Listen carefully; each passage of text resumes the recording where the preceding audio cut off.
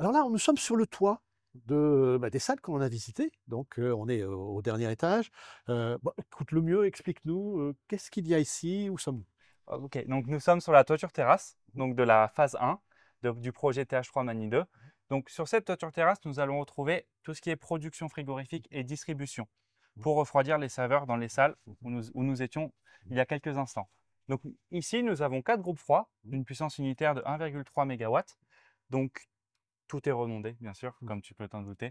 Donc on est en N plus 1 à tous les niveaux. Mhm. Donc chaque groupe froid est équipé de son ballon tampon qui va nous permettre, exactement, qui est ici, qui va nous permettre une autonomie en frigorie Mhm. pendant un incident de type perte secteur, perte Enedis, pour maintenir les essais de nos clients en salle. Donc la particularité de ces groupes froids, c'est le free chilling. Mhm. Euh, on peut en bénéficier plus d'un tiers de l'année. Donc de, cette- de réduire le travail des compresseurs 33% de l'année.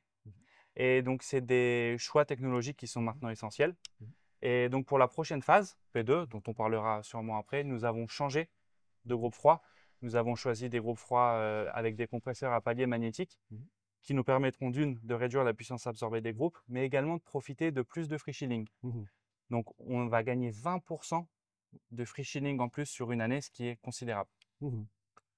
Tout ça, c'est la démonstration aussi de l'investissement sur la partie efficacité énergétique. Exactement. Alors, non pas énergétique, mais ici, euh, euh, en termes de refroidissement. Oui, donc nous, on s'engage Mhm. à avoir des PUE inférieurs à 1,3 dorénavant. Donc c'est chose faite pour le bâtiment, de la- de- le bâtiment 2, donc P2, on atteint un PUE de 1,29. Mhm. Donc c'est un travail quotidien. Ouais. Donc c'est c'est nos premières lignes de nos cahiers des charges, Ouais. quasiment. Le PUE, mais également le WUE, qui est très important aujourd'hui. Et donc l'ensemble de nos designs de sites, Mhm. que ce soit ici ou dans d'autres sites en France, c'est des circuits avec des boucles fermées. Mhm. Donc, euh, justement, rappelons que le WE, c'est l'équivalent du PE, mais avec l'eau. exactement, Et donc là, on est sur des systèmes qui sont fermés. Il n'y a exactement, pas de consommation d'eau. Non. En dehors de celle que l'on amène à l'origine pour alimenter le système. exactement. Donc, il y a cette première consommation d'eau à ne pas négliger, bien sûr.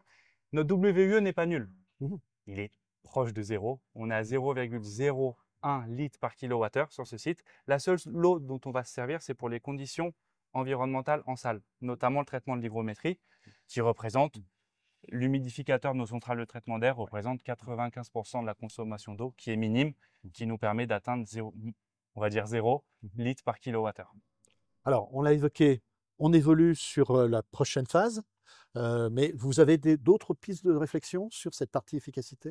Bon, on est ouvert à tout. Donc, Ouais. comme je l'ai dit sur l'efficacité, on en a parlé des types de refroidissement aussi. Le- tout- ce qui est DLC ou immersion cooling va nous aider.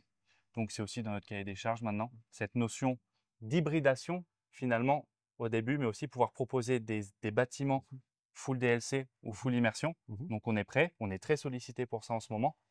Et on- il y a- il y a plein d'autres solutions de type de refroidissement qu'on étudie, qu'on ne se refuse pas free cooling direct, free cooling indirect. On est ouvert à tout et c'est notre fer de lance finalement pour nos prochains designs. Mhm. En effet. Merci.